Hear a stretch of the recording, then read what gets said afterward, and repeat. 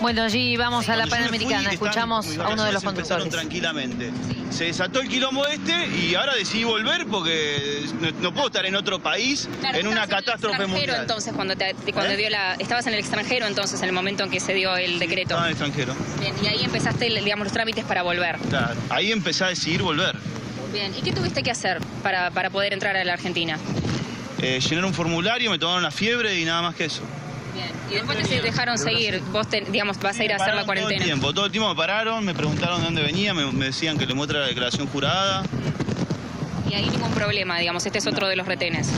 Viene. Ahora chicos, para mí no están cumpliendo una mierda de ustedes, porque están, están, a me- vos mirá cómo estás con ella, vos mirá cómo estás con Que él. no está cumpliendo es usted, ¿eh? Sí, yo estoy cumpliendo, querido. Yo me estoy yendo a hacer la cuarentena, y vos cuarentena acá, ¿qué, qué cuarentena estás haciendo? ¿Dónde sos vos? El 9.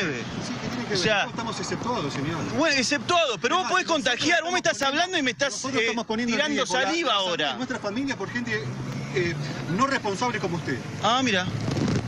Me no me toques, por Bueno, favor. ahora, ahora, ¿cuál va Ahora está muy dijeron? cerca usted, está ¿Qué muy te dijeron cerca que, mío. ¿Qué te dijeron que va, que va a Eh, hacer? ¿Cuál va a ser el procedimiento? Los pueden alejar porque están uno al lado del otro. Acá cuarentena, no hay nada de cuarentena. Miren a esta Nos, gente. ale- nos alejamos, ha quedado claro el punto de, Sí, no tienen. de, no de muchacho que ha llegado entonces de, de Brasil y nos dice que no tenemos idea de qué significa la, la cuarentena. Mariana, Y este hombre venía entonces de... Sí, Paula, ahí te escucho, discúlpame. dale, ahí lo estábamos escuchando, que, que bueno, está un poco nervioso, vamos a dejarlo al señor. Contanos qué pasó, cómo, digamos, qué, Sí. qué fue lo que sucedió.